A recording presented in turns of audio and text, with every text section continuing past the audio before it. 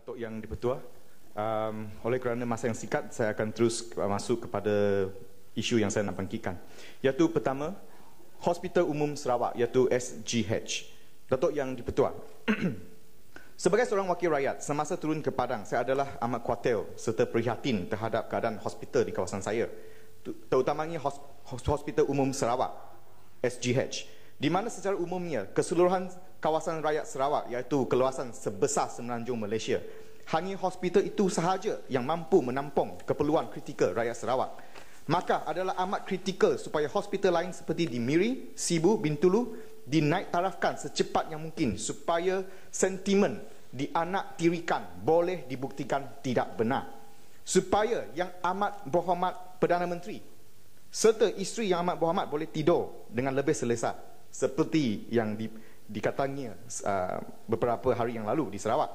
Jadi Serawakian perlu tahu setiap peringkat dari segi sasaran jangka masa naik taraf ataupun milestone setiap hospital umum yang terlibat Datuk Yang Dipertua, tiada gunanya plan Malaysia, plan Malaysia yang ke-11 jika ianya hanya semata-matanya marketing material dan tersesar daripada sasarannya. Jadi memandangkan kerajaan serius jika serius sudah tentu wujudnya milestone di mana wujudnya plan terperinci. Jadi kita Serawakian perlu tahu setiap milestone serta plan terperinci tersebut dan biarlah rakyat serta wakil rakyat yang dipilih oleh rakyat sebagai hakim serta mengawasi proses naik taraf tersebut. Datuk Yang Dipertua, selain itu, perkara yang sama yang berikutnya, soalan saya.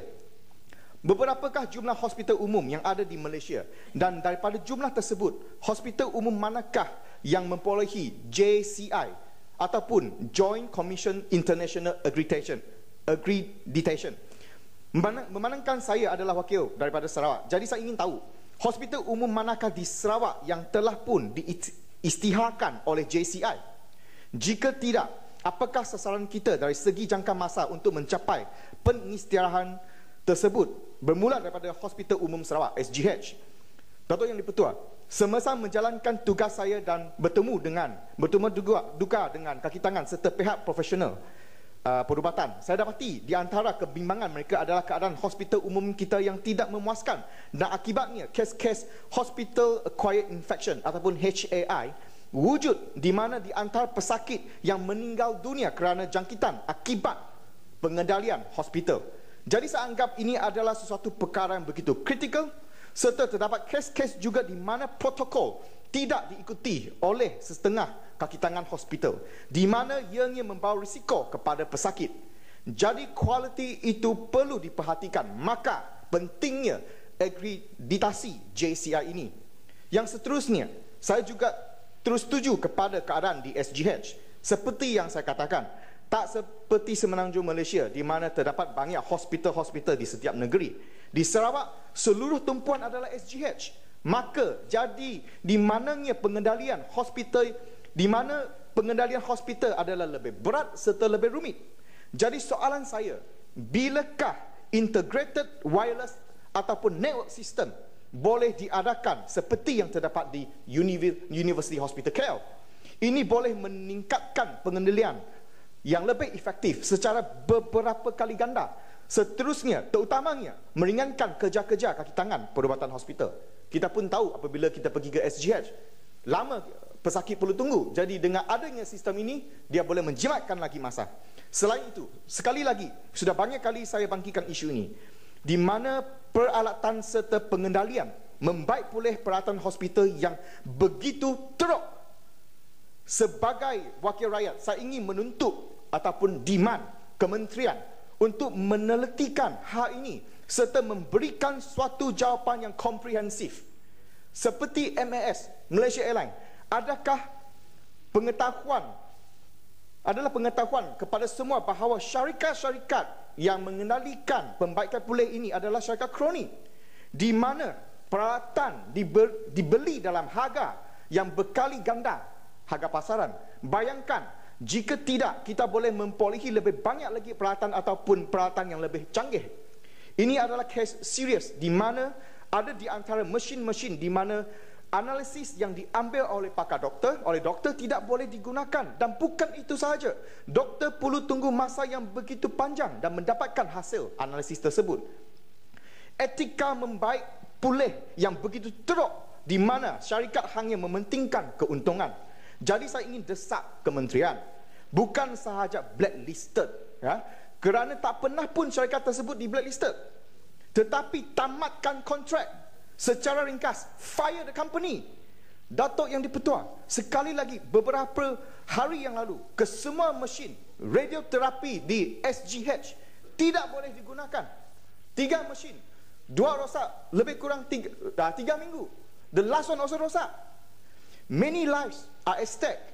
People are suffering. Dengan izin, Datuk yang petua, janganlah kita sebut blue ocean strategy lagi ataupun strategi-strategi apa ataupun program apa yang kerajaan lanjutkan tengok apa yang terjadi kepada MAS jadi sebagai seorang wakil rakyat suara rakyat saya minta kementerian sila mengambil keprihatinan kepada kes ini secara official saya ingin menjemput yang yang berhormat menteri bersama saya wakil rakyat di negara yang demokrasi ini yang dipilih oleh rakyat mewakili rakyat suara rakyat ya sebulat suara melawat SGH untuk meneliti situasi di situ dengan secepat mungkin. Boleh? Jika jika boleh, saya minta jawapan bila supaya Sarakin tahu menteri memang serius dalam menangangi isu sebegini. Yang terakhir sekali tentang hospital umum. Soalan saya, minta menteri memberi jawapan Beberapakah nisbah terbaru bilangan doktor di Sarawak kepada bilangan penduduk di Sarawak serta nisbah doktor pakar di Sarawak kepada penduduk di Sarawak.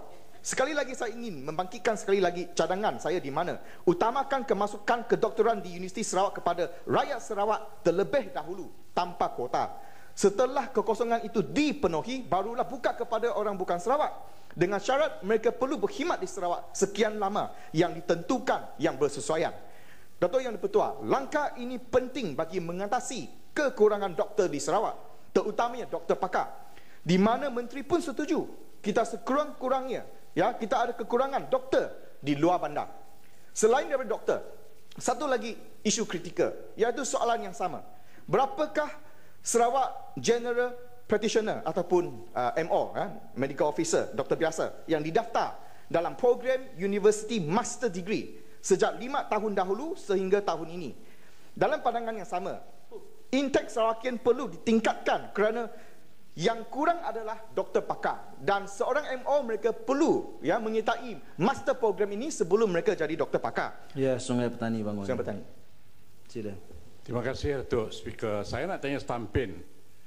Sedangkan Stampin bahawa ramai pelajar-pelajar kita yang balik daripada luar negara dan juga dalam negara yang lulus dalam ijazah kedoktoran tetapi tidak dipanggil oleh kerajaan untuk menyertai perkhidmatan kerana dimaklumkan kerajaan tidak mempunyai kewangan untuk menggaji mereka untuk menjadi doktor-doktor di hospital. Silakan tampil tentang itu. Terima kasih Yang Berhormat. Sila masukkan dalam saya punya ucapan. Ya memang betul. Begitu banyak. Ya kita ada satu jawapan yang bercanggahan. Kita mempunyai banyak doktor yang belum di-hire. Akan tetapi di Sarawak kita kekurangan doktor. Jadi apa yang sedang berlaku? Jadi saya harap kementerian boleh membawa, memberi satu jawapan yang you know, terperinci. Dan menteri yang berhormat menteri juga setuju bahawa di Sarawak kita ada kekurangan doktor di luar bandar. Jadi kenapa kita tidak menggunakan doktor yang belum pun ha, di hire? Jadi saya harap menteri boleh menjawab. Dan uh, Ya, mereka yang uh, bersambungan dengan apa yang saya katakan. Mereka perlu sambung uh, master degree program ini baru mereka boleh menjadi seorang pakar. Daripada feedback yang saya dapat, dalam suatu program kemasukan, daripada 18 orang, hanya dua Serawakian yang dipilih. Ini adalah tidak munasabah memandangkan bilangan pakar yang begitu kekurangan di Sarawak. Jadi Datuk uh, yang dipertua poin saya yang kedua iaitu mengenai SBST ataupun Stage Bus Service Transformasi uh, Transformation.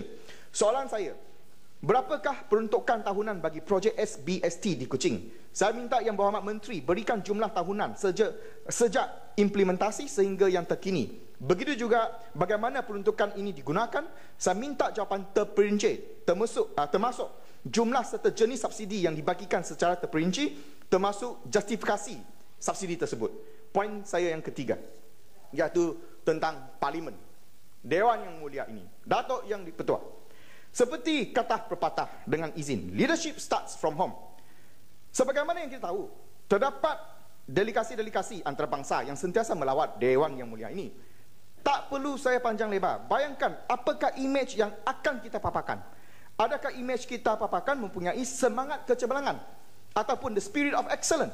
Ataupun sebaliknya jika rumah kita sendiri pun tidak teratur bagaimana rakyat ada confident terhadap kerajaan untuk mengendalikan negara kita.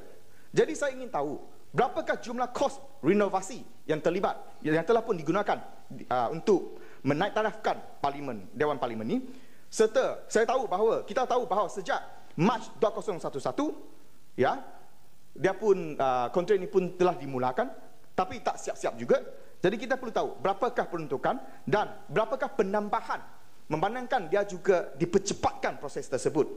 Jadi saya saya ingin um, menunjuk soalan ini, menunjukkan soalan ini kepada menteri, ya. Uh, salah contoh yang di dewan yang mulia ini, yang projektor yang kita pakai dekat dewan ini, tak boleh nampak pun. Kenapa masih lagi buka? Apa yang akan delegasi-delegasi antarabangsa? Ya, what will they think of us? Either we shut off the projector or we change a new one. Ya, yang keempat, poin yang keempat iaitu Malaysia Airlines. Blue Ocean Strategy. Ya. Kita ada banyak strategi Malaysia Airlines. Dato' yang dipertua, kenapakah kita perlu seorang daripada warga negara yang asing membayar dia puluhan million untuk memberitahu kita bahawa Malaysia Airlines ada masalah? Sedangkan perkara ini telah pun dibangkitkan oleh pembangkang kian lamanya dan kita perlu memakai puluhan million ya from a foreigner to tell us that we have a problem dan kita juga hanya lima tahun daripada sasaran 2020 dan kita masih perlukan seorang daripada luar negara untuk menjalankan atau menselamatkan Malaysia Airlines. Jadi saya rasa Tuan Dato' Yang Dipertua the top management should be fired. Billion billions of bailout. Tetapi kita masih lagi mengambil top management. Apa hal ini? Dan Dato' Yang Dipertua tahukah Dato' Yang Dipertua saya amat bangga kepada kita punya cabin crew di Malaysia Airlines. 8 tahun they won the best cabin crew award. Tetapi tak ada satu tahun pun mereka dapat bonus. Tetapi top management yang perlu bilion-bilion bailout, mereka ada dapat bonus. Apa yang terjadi? Kesenseraan terhadap 20 ribu pekerja Malaysia Airlines akibat apa? Akibat mismanagement. Jadi itu yang petua. Malaysia Airlines ini adalah national brand. Sepatutnya menjaga maruah negara. Kini menjadi menjadi suatu yang begitu segan. Di manakah di mana kita seolah-olah memberitahu dunia sejakat we openly practice mismanagement, cronyism. Ya? Jadi saya harap isu ini boleh dilihat dengan lebih serius. Jadi saya bantah sekali syarikat sebegini the top management should be fired once and for all. Yang isu yang kelima iaitu tentang dengan GST. Ini membawa impak yang begitu besar kepada rakyat Sarawak. Kita pun tahu, kita pun ada baca surat khabar, kita pun ada tengok Facebook, social media, di mana ada yang membunuh diri kerana GST. Kerana mereka tak tahu macam mana mengendalikan, mengendalikan perkara yang begitu rumit. Ya, jika mereka tidak mengendalikan dengan betul, mereka akan dihukum ataupun dipenjara. Dan selain daripada GST, saya membangkitkan dua perkara. Iaitu tentang, mungkin banyak yang tidak tahu, tentang company income tax yang bermula pada tahun ini. Uh, dengan izin saya akan membaca. Announcement regarding the application of subsection 77A4 and section 140B of Income Tax Act ITA 1967. Poin yang kedua. Loan or advances to director by a company. Section 140B of ITA 1967. Quote, saya baca dengan izin. A company that give loan or advances to its director without interest or with interest below arm's length rate, the companies is deemed to have received interest on the loans or advances given. The interest is therefore taxable. Seterusnya, the provision applies to a director who is defined under subsection 75A2 of the ITA 1967 and the loan or advances which are financed by the company's internal fund only. Maksudnya, jika kita membuka sebuah sendirian bahat Ya, director director invest the money, pump in the money to the company. dan dia keluarkan duit tersebut dan mereka akan dichargekan interest bermula pada tahun ini. Jadi ini akan membebankan lagi rakyat.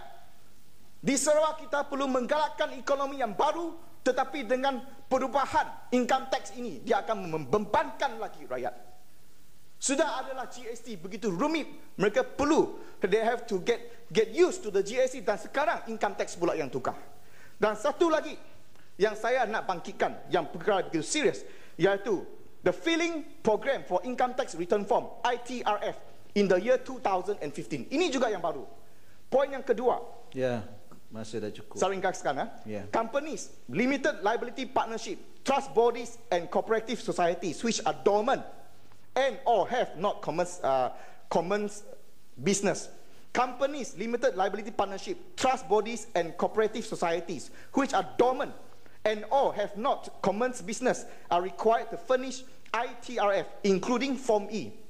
Company sudah dormant tetapi mesti juga submit Form E. Bila kita submit Form E, perlu lagi accountants, dormant company. Ini juga baru, perkara yang baru tahun ini. Jadi saya harap menteri boleh lihat isu ini dengan dengan lebih serius kerana sudah adanya GST yang membebankan membawa kesengsaraan emosi kepada rakyat dan dua akta ini lagi yang baru. Jadi uh, itu sahaja saya punya pembendangan pada hari ini. Sekian terima kasih.